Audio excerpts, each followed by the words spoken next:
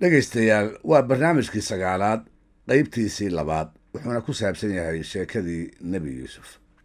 Qaybtii hore ee sheekadan sidaynu ku soo aragnay waa tii isagoo aan waxba garabsan yuusuf ay walaalihii ceelka ku tuureen isagana tageen. Niman safar ah oo masar u socdaa waa kuwii ceelka ka soo saaray.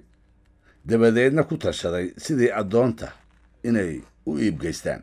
Haddiise ay lahaan lahaayeen qalbiyo naxa dad wanaagsanna ay ahaan lahaayeen. Intay u kurgalaan oo sheekadiisa dhuuxaan ayay reerkooda ku celin lahaayeen. Ha yeeshee wuxuunbay ahaayeen qaar aadanaha ka mid ah oo dabeecadaha aadanaha leh. Marmar buu dadku isu rogaa dugaag si bareer ah dilka iyo dhagarta ugu tartama isuguna faana. Gaadiidkoodii intay rarkii u dhammeeyeen ayay socotadii safarkoodii sii wateen. Waddada ayay ku dhaceen ilaa ay masar tageen. Waxay u iibgeysteen suuqa addoonta isagoo ah nin gob ah oo aan dhayalsi mudnayn iyo rasuul wanaagsan oo guri wanaagsan ka soo jeeda. Waxay siisteen lacag aad u yar shilimo faraha lagu tirin karo. Si deg dega inuu gacnahooda uga baxo ayay rabeen. Maxaa yeelay waxay ka cabsanayeen arrintooda in la ogaado sirtooduna ay soo dibad baxdo. Dhabtii haddii xataa dhulka muggiis oo dahab ah ay siisan lahaayeen marna taasi ma noqoteen wax ruuxaas qiimaha weyn leh u cuntama oo inankaa wanaagga badani uu mudnaan karo wasiirka wasiirrada masar ugu weyn ayaa iibsaday isla markiiba wuxuu ogaaday inanku inuu ab iyo absaxan wanaagsan ka soo jeedo.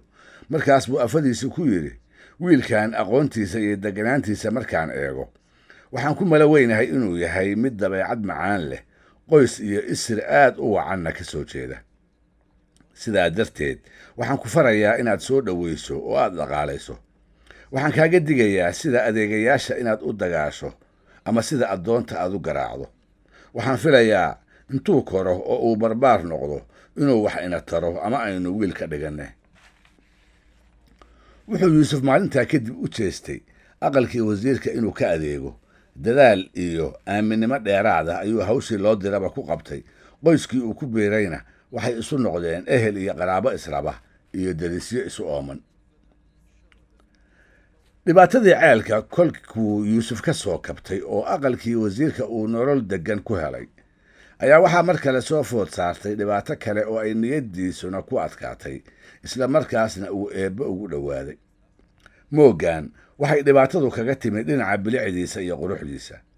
Waxay ka soo gashay xagga habwanaaggiisa iyo dhallinyaronimadiisa wuxuu eeday quruxdaa oo intii muddo ah uu darteed u kadeedmay hoogna uu ku qabsaday horey baa waxaa loo yidhi ubaxa beeraha ku yaallay wuu badbaadi lahaa lamana goosteen haddii aanay quruxdiisa ahayn. Yuusuf hawshiisii ayuu aqalka ka bilaabay. Maalinba maalinta ka dambaysa ayaa waxaa soo baxayey caqliga iyo garaadka ku duugan aaminnimadiisa iyo dhowrsanaantiisa. Markaas baa waxaa kordhay kalsoonidii uu wasiirku ku qabay. Dadkiisii ayuu ka soo soko marsaday meekhaanka dadka sharafta leh ee gobta ah ayuu gaarsiiyey. Wuxuuna ula meel joogay oo uu ula dhaqmay sidii wiil la dhalay oo baari ah. Wuu koray. Carruurnimadii intuu ka xuubsiibtay ayuu barbaarnimo u dilaacay. Markaas buu haweenaydii wasiirka mashquuliyey. Isha ayay mar walba ku haysaa.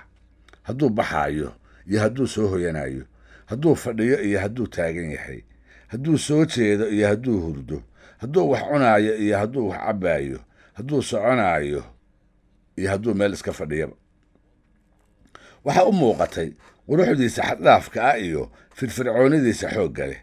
Waxay dareentay jacaylkiisu inuu qalbigeeda ku koraayo xididadeedana uu ku dhex socdo. Waa isjeclaysiisay oo isu jilcisay way hunguriyeysay. Waxay istustay inay gacanta ku dhigto oo ay iyadu yeelato. Hase ahaatee wax suuragal a ma tahay. Xaggee bayse u maraysaa iyadu waa haweenaydii wasiirka. Meekhaanka ay reeraha ku leedahay ma aha mid fudud. Meekhaanka uu ninkeedu masar ku leeyahayna wax la dhayalsan karo ma aha. Waxaa ku habboon nafteeda inay ka adkaato oo jacaylkeeda xakamayso. Ha yeeshee mar walba oo u muuqdaba laabteeda ayaa u hinqata. Waxayna dareentaa xoogga jacaylka oo wadnaheeda gelgelaya waxaa ugu daran marka cidda aad jeceshahay ay kuu dhowdahay oo aad isku meesha ku nooshihiin asi aadan heli karin sow la mid ma aha. Awrta oonka la liidata ee u dhimanaysa iyada oo haamaha biyaha ahi ay dusheeda ku raran yihiin. Markay walaacday ee ay wareertay ogadeedana ay tiro ka dareentay ayay go'aansatay inay bareerto oo ay u hoggaansato dhawaaqa jacaylka. Ha yeeshee waxay ku tashatay nafteeda in aysan dullayn oo aysan ka soo degin meesha sare ee ay saaran tahay. Markaas bay dabaydna ay ku soo jiidanayso yuusuf u daadisay. Nafteedana waxay uga muujisay waxyaabo ay suuragal tahay inay raganimadiisa dhaqaajiyaan oo uu xaggeeda ugu soo iilan karo. Hase ahaatee gacan haadinteedii iyo sarbeebteediiba wuu ka jeestay. Bilicdii iyo quruxdii ay u muujisayna indhaha ayuu ka awtay. Yuusuf oo inan wanaagsan ah aabba wanaagsani dhalay mid wanaagsanina sii dhalay miyay ka suurowdaa inuu wax xaaraana jalleeco ama ay naftiisu caasinimo eebbe u hogbato miyay ka suurowdaa ninkii soo dhoweeyey ee qalbigiisa u furay reerkiisana ku aaminay inuu khiyaamo oo afadiisa u daba maro. Xaashaa lilaahi waa maya. Kolkii ay aragtay inaan loo soo jeedin ayay haweenaydii sii shidantay. Jacaylkii baa ku kordhay. Caashaqii baa maanka kala tegey kolkaas bay la noqotay wixii ay sarbeeb ku weyday inay bareer ku hesho. Waxay goosatay. Danteeda inay ku dhiirato oo waxa ay doonayso ay ku indha adeegto samir dambe oo ay kari kartaa ma jiro. Taag ay diidmadiisa ugu dulqaadataa kuma ay harin. Way isdiyaarisay nafteedii ayay geesinimo ku dhiirigelisay. Awooddii ay lahayd iyo madaxnimadii ayay ilowday waxayna isu rogtay gashaanti caashaqu miyidkii ka qaaday oo jacaylku dhan walba u xulay. Qolkeedii ayay ugu yeedhay. Isaguna halhaleel ayuu ugu yimi maxaa yeelay caadadiisu waxay ahayd amarkeeda inuu fuliyo. Wixii ay fartana uu fartoomo gudaha kolkay ku ogaatay ayay daahyadii sii daysay oo halkuu iftiin yari ka soo geli jirayba ku awday.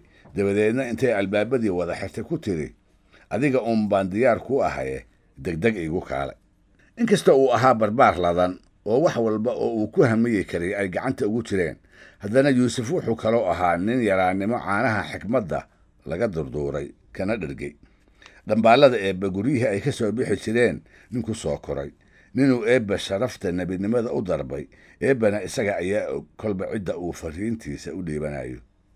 Sidaa darteed waa nin uu qalbigiisu eebbihiis ku howlan yahay oo aan wax kale shiidaad u haynin.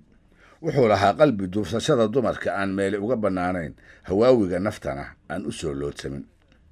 Wuxuu ugu jawaabay eebbe ayaan ka magan galay waxa aad rabto inaan kaa yeelo ama waxa aad iga doonayso aan kuugu hoggaansamo waan iskala weynahay inaan khiyaamo wasiirka aan wiilka u ahay ee isoo dhoweeyey.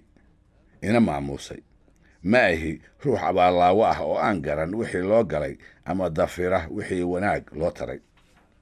Albaabada haddaad xirtay daahyadana aad sii daysay. Soo ma ogid eebba inuu og yahay daymada sida aan muuqan isha wax loogu xado iyo sirta laabaha ku qarsoon waan iskala weynahay eebbahaas inaan caasi ku noqdo ama rabidda naftayda intaan u hoggaansamo aan ku kaco wax uu ka caroodo.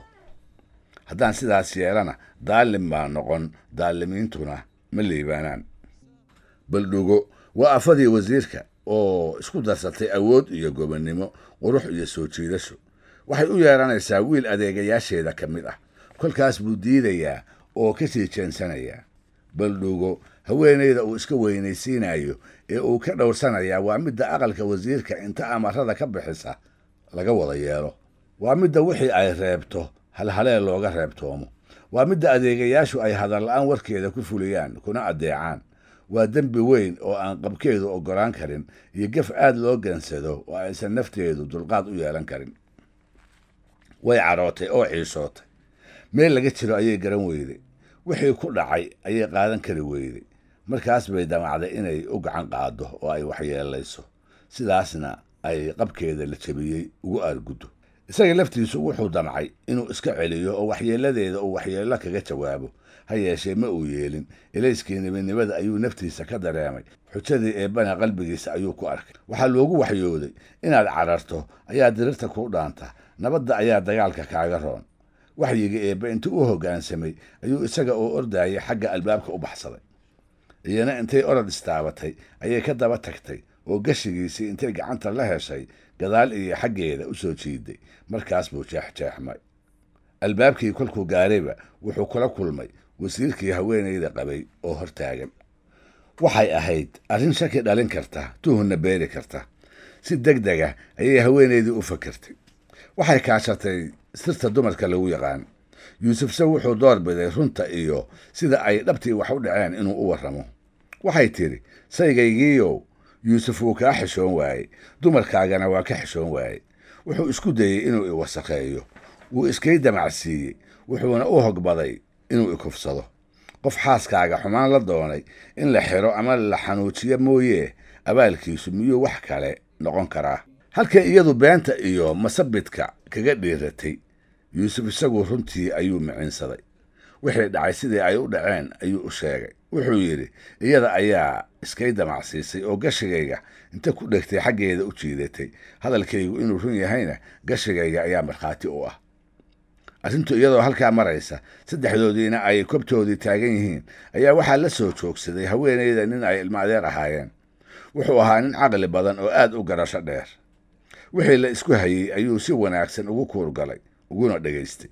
Durbadiibana wixii dhacay ayuu dhab u gartay markaas buu gartii ku naqay gashiga yuusuf. Hadduu dhanka hore ka jeexan yahay iyada ayaa run sheegaysa isna waa beenlow.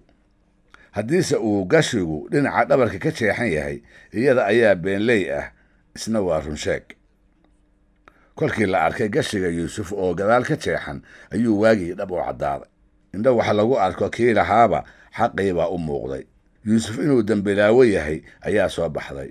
Markaas buu wasiirkii afadiisii la hadlay oo ku yidhi waxaani waa sirta haweenka lagu yaqaan. Gef baad ku dhacdaye ee badda midhaaf weydiiso. Yuusufow adiguna afkaaga hayso oo yaan sheekadaani intaynaan dhaafin si aan loo qaadqaadin oo aanay dadweynaha ugu dhex faafin dhegaystayaal waxaa halkaa inoogu dhan qaybtii labaad barnaamijkii sagaalaad kuna saabsanaa sheekadii nebi yuusuf oo qayb ka ah taxanaha sheekooyinka qur'aanka kariimka